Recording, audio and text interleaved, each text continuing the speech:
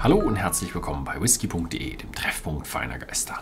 Und heute haben wir wieder einen Jack Daniels Tennessee Whisky auf dem Fass. Und Jack Daniels als Tennessee Whisky ist ja so die Ausnahme in Amerika. Tennessee Whisky ja, kennt eigentlich nur Jack Daniels und noch ein, zwei andere Marken. Und ich gehe da mal so ein bisschen drauf an. Was ist Tennessee Whiskey? Ja, man kennt es als den Bourbon plus den Lincoln County Process. Also frische Fässer, 51% äh, Korn aus Mais gemacht. Dann verschiedene Brennstärken sind noch definiert und Abfüllstärken. Und dass es natürlich im Staate Tennessee hergestellt wird. Ähm, das wird natürlich nur von der amerikanischen Regierung bzw. dem Staat Tennessee so festgelegt. Ähm, aber es gibt auch noch andere Länder, die das sogar ähm, anerkennen. Denn im NAFTA Agreement, also dem North, North American Free Trade Area, da wird auch der Tennessee Whiskey festgelegt. Das heißt, auch in Kanada kann man nicht einen Tennessee Whiskey herstellen, ohne gegen das Gesetz zu verstoßen. Aber ein bisschen auf die aktuellen äh, Geschehnisse eingehen. Ähm, NAFTA steht ja so ein bisschen auf der Kippe, also könnte das auch in Zukunft so sein, dass Kanada wieder einen Tennessee Whiskey herstellen könnte, aber ihn natürlich dann nicht nach USA verkaufen kann. Ja, gut, ein bisschen ja, aktuelle Geschehnisse. Was ich auch noch ein bisschen recherchiert habe, ich habe zwar eigentlich in eine andere Richtung recherchiert, aber dann herausgefunden habe, ist, warum haben die Amerikaner eigentlich so viele Column Stills? Warum haben die keine Brennereien mit normalen Brennblasen? Das liegt daran, dass Column Stills einfach um einiges wirtschaftlicher sind. Aber in Schottland können sie das Ganze auch wirtschaftlich machen.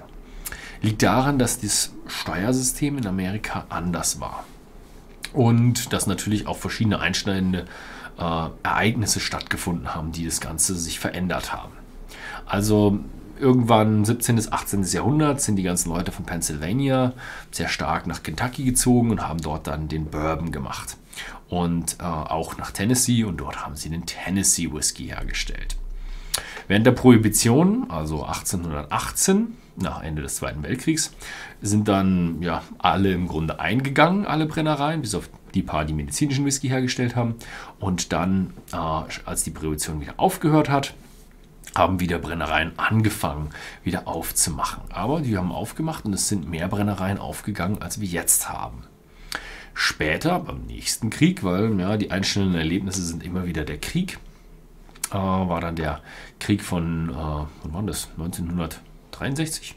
Ja, also der Bürgerkrieg hat Lincoln eine Steuer eingeführt und zwar wieder eine Brandweinsteuer. Und die hat auch alle Brennereien wieder hart getroffen. Und es war wieder so in die Richtung, dass die großen Hersteller davon einen Vorteil hatten und die kleinen Hersteller davon einen Nachteil hatten. Und deswegen sind wieder mal nur die Hersteller, die einen ja, großen Economies of Scale hatten, haben überlebt. Und so sehen wir dann, wie sich dann die amerikanische Whisky-Kultur Richtung Großballereien bewegt hat, die wir heute kennen. Ja, gibt einen kleinen Gegentrend jetzt, aber ja, wir kennen eigentlich die großen. Und das ist, einer davon ist natürlich Jack Daniels. Und wie wir ihn kennen und lieben. Ähm, ja, genug geredet über Hintergrund. Ähm, die Flasche, ich finde die Flasche immer, sieht immer super klasse aus, möchte ich mal hier so dazu sagen. Goldenes Label und dann diese schöne äh, quadratische Form.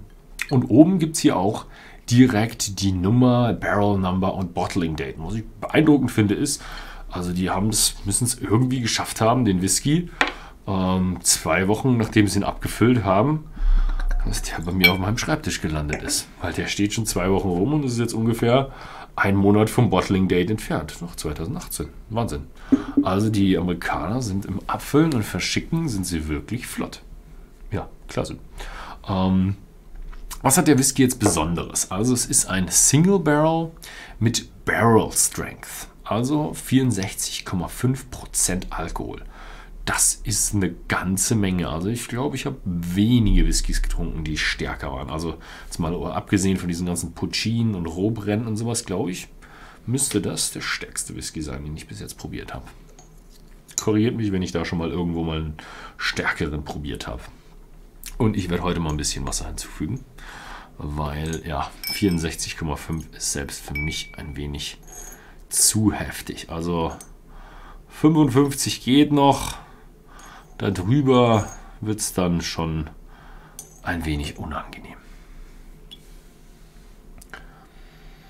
Und wow. Wow, der ist richtig, richtig süß, karamellig. Ja, also da riecht man den braunen Zucker. Aber selbst jetzt noch mit der Verdünnung merkt man, der hat richtig Alkohol. Also mit, wenn man mit der Nase tief reingeht, riecht man den Alkohol auch. Aber es ist interessant, wie, also wenn man die Farbe sich anschaut, ich habe ihn jetzt schon verdünnt, der ist extrem stark gefärbt und das kommt alles vom frischen Fass. Ja, und äh, er, ist, er ist auch schon ein Stückchen würzig. Also man merkt, wenn man den Whisky länger in den Fässern drin lässt, dann kommen da auch die Tannine und die Gewürze aus dem Fass raus. Selbst bei den jungen Amerikanern, die kein Alter draufschreiben. Ja, Wahnsinn. Also da ist wirklich schon eine würzige Note drin. Mmh. Mmh. Mmh. Mmh. Wahnsinnig intensiv. Puh. Mmh. Also, intensiv, süß, vanillig. Mmh. Mit einer ganz leichten Räuchernote am Ende. Also so, ein, so eine Sparrows-Räuchernote. Jetzt nicht die Sparrows, die man im Smoker hat für einen halben Tag, sondern die normal gemachten Sparrows, die man so auf den Grill schmeißt. So eine leichte Räuchernote. Ein bisschen leichter als bei den Sparrows. Mm, klasse. Aber boah, hat schon immer noch ganz schön Umdrehungen. Zwar schon kräftig reingeschüttet an Wasser, aber der hat immer noch richtig Dampf dahinter. Also 64,5 hat er nicht umsonst. Mm.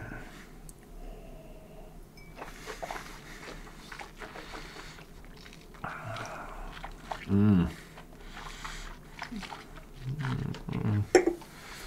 Mm.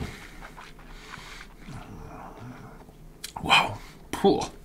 Also, wer immer so, so, so kennt, ja, hm, Jack Daniels, ja, Tankstellen, Whisky. Ähm, ja, Jack Daniels, der Old Number 7, ist natürlich einer der Einsteiger-Whisky, also einer der preiswertesten Whiskys. Und ähm, das hier ist jetzt die Version davon, bloß viel, viel, viel, viel, viel mehr Kraft dahinter. Wow. Wow, wirklich interessant. Mhm. Ja, wen es interessiert, wer mal so den richtig, den kräftigsten Jack Daniels haben will, den er jemals getrunken hat. Hm, nicht den süßesten, den kräftigsten. Der sollte sich mal bei whisky.de umschauen. Bei uns gibt es die natürlich direkt im Shop zu kaufen.